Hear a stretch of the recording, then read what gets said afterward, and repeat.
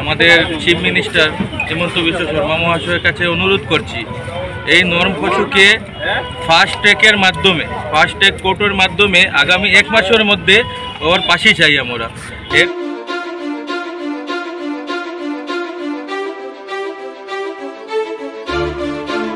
আপনারা দেখছেন ডেইলি বরাক, আর ডেইলি বরাকে এই মুহূর্তের গুরুত্বপূর্ণ খবর। আট বছরের শিশু আয়ন মঞ্জুর বরভুইয়ার শুভেচ্ছার দাবিতে রবিবার সোনাইয়া মোমবাতি মিছিল অনুষ্ঠিত হলো। এদিন সন্ধ্যায় মোমবাতি মিছিল করলেন সোনাই পুরসভার সদস্যরা।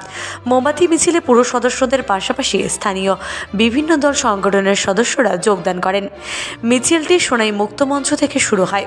বিভিন্ন পথ পরিক্রমা করে পুনরায় মুক্ত মঞ্চে আসে মিছিল। প্রায় দুই শতাধিক মানুষ মিছিলে সামিল হন। পরে বক্তব্য রাখতে গিয়ে সোনাই পুরসভার ভাইস চেয়ারম্যান শাহরুল আলম সহ অন্যান্যরা এই ঘটনার তীব্র নিন্দা ও ধিক্কার জানান। তারা বলেন, অবুঝে শিশুকে হত্যাকারী মানবরূপী পশু। অভিযুক্ত অপু মজুমদারের দৃষ্টান্তমূলক শাস্তির দাবি জানান তারা। শিশুটির আত্মার চিরশান্তির কামনায় এক মিনিট নিরাপত্তা পালন করা হয়। Bureau report, Daily Barak.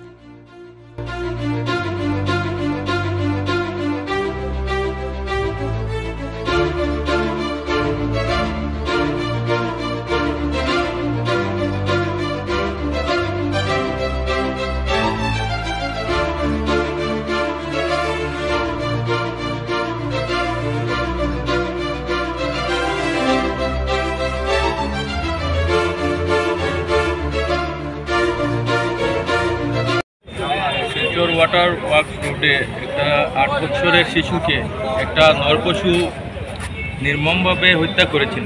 এর প্রতিবাদে আমরা সোনাই মুক্তমঞ্চে আজকে এই ক্যান্ডেল মার্চের আয়োজন করেছি। আমরা কাছাড়ের অ্যাডমিনিস্ট্রেশন তথা আমাদের চিফ মিনিস্টার হিমন্ত বিশ্ব শর্মা মহাশয়ের কাছে অনুরোধ করছি, এই নর্ম পশুকে ফাস্ট ট্র্যাকের মাধ্যমে ফাস্ট ট্র্যাক কোর্টের মাধ্যমে আগামী এক মাসের মধ্যে ওর পাশে চাই আমরা। এর প্রতিবাদ আমরা করছি। আজকের এই যে প্রতিবাদী সভাটা আপনারা কোন দিকে কোন দিকে যাইবা না আমরা এখানে শেষ করে নেব ক্যান্ডেল মার্চের মাধ্যমে। আর এখানে আমার রামেশ্বর কাকু আছেন ওনাকে কিছু বলার জন্য আমি অনুরোধ করছি। দাদা একটু শুনছেন আজকের এই প্রতিবাদী সভা কালকে যে ওয়াটার ওয়ার্কস রোডের আমাদের সোনাই কারিডোরের একটা ছেলে তার বাবা এখানে থাকতো।